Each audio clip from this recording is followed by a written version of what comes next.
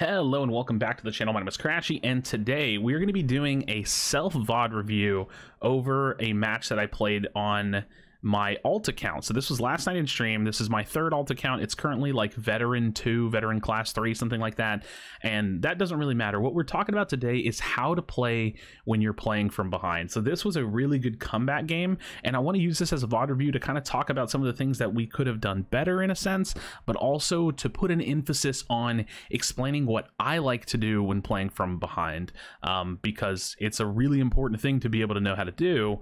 Um, and yeah, so our team comp is pretty bad, but we were just doing like viewer games and we were playing some ranked and it, it didn't really matter to me too much. So don't overanalyze the team comp too much. I am going to be playing, like I said, Charizard jungle or, you know, Charmander jungle, whatever you want to say. And uh, we'll just be watching this. But a, a big emphasis again on this gameplay is how I like to shot call and the decisions that I like to make whenever we're not doing so well. So I rendered this video out from the stream and we're just going to be, yeah, watching it and taking a look to see uh, what happens and what kind of tips and, and thoughts that I can bring to the table in terms of teaching what I would like to do to minimize your losses. Now, I've actually said this in the past. Whenever you're behind, you you really need to be careful because you have to remember. I say this all the time as well. Uh, Ten minute game means there's not a lot of opportunity for mistakes. When you make a lot of mistakes, those mistakes stack up against you really really quickly, and it can be pretty bad. I actually think I might make some pretty bad early mistakes this game. I think I might throw some kills, um, and that's just on me. Like right here, I think I maybe overstay and end up dying or, or something crazy. Just oh yeah, I remember just fighting up against the Ninetales early.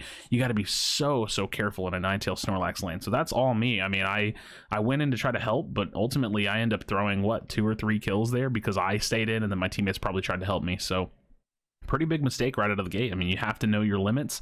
I do say that every now and then. I talk about that too. I think it's important to know your character's limits in a good and a bad way. I did not really um, plan for that fight to go so terribly, but it's definitely something to think about when you're playing into like a high burst Lucario uh, with like the CC in control of a Snorlax Ninetales lane. So got to be careful there. Uh, Lucario's rotating down, and I don't really want to lose a fight to him because he is like a full level above me. And I think I actually get roamed on here from top lane, and I end up dying. So he zoned off the berry really, really well. I know I'm dead. Like, even if I eject button, I'm just big dead. So I, I honestly shouldn't even have used it. But another death from me. This kind of is like a combination of me getting caught out by the Lucario, but also having the top lane roam, which if the top lane on my team could have roamed down, it might have been beneficial. We maybe could have turned that around. So a little bit of awareness from top lane, not really there, but also, again, just a, that was a losing situation from the start. So I've already started the game off. I have two deaths at, you know, two minutes into the the game. Top lane is getting crushed, and this is that game where you look at it and you say, okay, you know what? We're not doing good. Uh, we're, we're, we're behind. It doesn't look like our bot lane, just from looking at the minimap, is going super well. We do have a Machamp bot lane, so that's already bad. And we are coming up 30 seconds left, 25 seconds left until the first big objectives come up. So in my mind here, I'm already sitting there thinking to myself, look, I don't think we can fight them. We've lost top tower. We're not strong enough to group up against them. We need to minimize our losses. So in most games, the, the typical formula is just group drednaw, do this, do that. It's always the same thing. And right here, I forgot that you can't press start and look at the, the levels at the same time, but I'm trying to look at the levels and I'm looking at it and it just looks like we're, you know, we're decently behind. So to me, I'm already telling my team like, hey, look, we need to not be bot lane. Going down there is just going to get us killed. Like we're going to end up feeding more kills than we need to. So it's just time to farm. We're, we are truly already making a conscious decision this early in the game to to try to play for late game. So bottom is gone, Drednaw's gone, but we need to trade. So if we don't trade here, what normally would happen is if we went bot lane here when we were this far behind, is they would get Drednaw, they would kill us, they would push tower. So it would be like they got Drednaw anyways, that was going to happen. They would get a bunch more kills. We avoided that from happening. They would kill us and take the, or th that was part of it. They would kill us and take a bunch of experience. Then they would take the bottom tower. Then they would rotate top and either do it all over again or get the Rotom. So compare what could have happened with what did happen. So we trade out Rotom for top. We get it. We get a goal down, which is huge. We didn't give up like three or four deaths, which is huge, and we actually get an objective. Like it's it's pretty good. So now they're hard pushing, and this is could be potentially bad. I'm looking to use an, a unite move early on because we, we kind of need to. And if I can pick this off, that's more experience for us. So now not only are they not hard snowballing, um, we're actually kind of coming back a little bit. So this is where we encroach a little bit of overextending. I don't remember exactly what happens, but it's like, okay, look, we did a good thing. Let's not overdo the good thing, right? Um, Again, I don't really know what happens here. I peel back for the Snorlax. That's again more experience for us. If we can get this kill, great. Um, if not, not great. Uh, but look, they're sorry. They're already starting to come back. We need to back up. We don't want to fight them. We want to avoid them and try to farm as much as possible. Look at our map right now. Everybody that's watching this video, look at the map. Look how much farm there is. So we are minimizing our losses and trying to stay XP relevant. And that's what I say all the time. So right here, we want to potentially contest this because look at the levels now. Like I know I'm the jungler, but the levels should be starting to tighten in a little bit from both teams. Score wise, we are probably terribly behind, but there's farm. There's a lot of opportunities for us to make a play in the end game. And this is why I do probably need to make a follow-up video talking about Zapdos.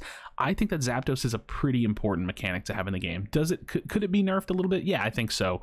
Uh, but at this point, we're pretty strong. We need to potentially get down here and contest. So they're zoning really, really hard. So I think if anything, we're kind of in a bad position because it just there's not an opportunity for us to get there. We were too slow. I go for the Unite Steal. I don't get it.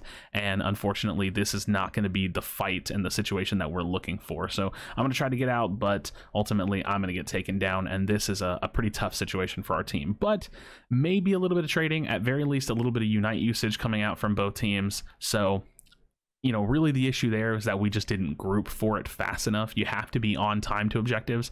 That said, we probably should have just avoided it and traded top again, um, because again, the same thing happens. We we give up a lot more than we should have, and the experience is going to still you know pull in their favor again.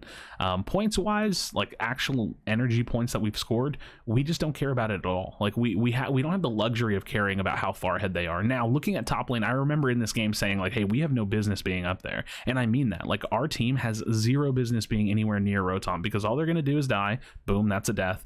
And again, instead of minimizing our losses, we're actually adding to their lead. So you know that's really the sentiment here is that the overall feeling like look look at and bot lane doesn't matter. And you know why it doesn't matter that he's scoring? Because we're so far behind it makes no difference. We need to just farm. That's really the goal and that's what I'm going to be preaching. If you're behind just farm. Avoid the enemy team at all costs and farm. So here they're probably just going to completely impose their will and and they're going to force a fight and um, there's definitely a thought that I have in my head that I'm trying to save for a little bit later in the video, but and we'll, we'll bring that up. But again, the overall sentiment is like avoid them at all costs, die as little as possible, stay in the game as long as you can, like really survive the game. It's not even about anything other than just surviving the game.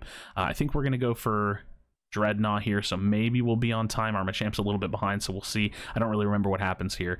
Uh, but yeah, survive the game and make it to late game, and you have a chance. That's really the overall the overall goal. So 242 on the clock. I don't really want to use a Unite move here. If we get wiped out here, honestly, it's not even really that big of a deal. Our Machamp's not here, so we can kind of extend a little bit to just see what we can do.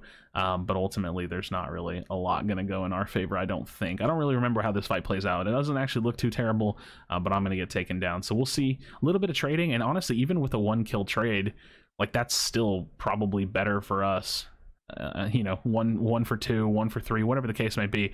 Uh, it's not great, but still probably decent for us because we need the experience. So I don't think they get a Drednaw here, but if they do, that's unfortunate. So they, they go into the end game with a shield on, and we only have two goals left because they push really, really hard, and it's time for us to make a Zapdos play. Now look at the top of the, the UI. We have four ultimates up exp wise we're definitely down from them but it shouldn't be too too terrible. Like like I, at least i've kept my experience kind of relevant. And even with snorlax and bot lane scoring it just doesn't matter because we know that our only win condition is drednaw or is the zapdos. Anyways so look i i find Zeraora a big kill target that i want to focus and get out of the way and now i'm just doing my best to team fight with the team. With the snorlax not being here that's so much lost like utility and peel potential and now it's just full 50 50 time. Like you're gonna see me save a fire punch for for it. The the you know I can't even see the health bar. We go in for it. We get it. So the thought that I was trying to say for earlier is I know like someone in Twitch chat or in Twitch chat in YouTube chat last night was like, hey, you know that Zapdos was kind of lucky. The thing is, is it, it, that's kind of the way the Zapdos goes with hard 50-50s. When you truly force a 50-50 on Zapdos, you just try your best to get it. But the point was that we did our best to stay in the game to stay relevant enough to even be able to contest that. So that one play for Zapdos is kind of the cheese of the game, right? It's like, oh my god, they were losing the whole game. I can't believe they're just winning now. But that's what we played for, and that's what I played for. I played to stay as experience relevant as possible. I played to make it to the late game as much as possible. We had a couple of bad pushes where honestly this game could have gone even better for us because we would have been able to avoid some of those deaths, but we farmed the whole time. We were trading out experience in the early game because we knew we needed to, and then we play for the only win condition that exists, which is Zapdos, which is another reason why I actually don't think Zapdos needs to get changed too too much. Maybe a little bit, but not too much. So at this point, we just need to stop them from scoring at all costs. Uh, they do get a couple of scores in. It's like 28 total, but we should be way ahead, and it just comes down to us winning this last fight and not letting them score like a ton of points. Because if they get a bunch of kills on us, they get a bunch of energy, and they score all those points, not going to be a good situation. So we stayed in the game. We stayed experience relevant. We kept ourselves pushing, and that is how you come back from when you're behind. You have to be willing to sacrifice almost everything about the game in order to play really, really appropriately to uh, to try to turn it around. So thank you so much for checking this out. Let me know your thoughts in the comment section down below. Um, like I said, big, big swing game, and that's kind of how it goes. But that is the overall sentiment and the message that I want to let you guys know. Just try to avoid a lot of those fights because when they're stomping you, fighting them is just going to get them to stomp you harder. So thank you all so much for checking out the video. As always, be sure to be kind to one another. Tell someone that you love them, and I'll see you on the next video.